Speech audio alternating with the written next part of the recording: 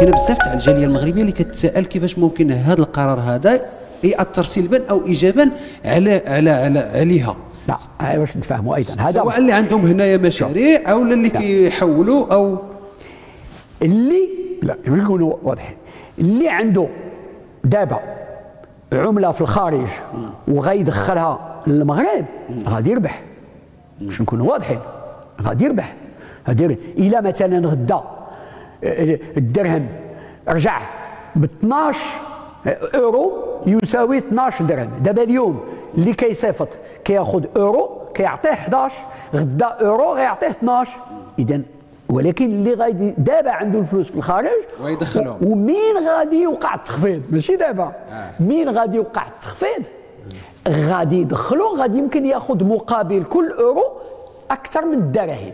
هادشي واضح. ولكن اللي عنده دابا الدرهم في المغرب وبغى مثلا يستعملوه بصفة أو بأخرى أو يخرجوا غادي يخسر. فهمتيني؟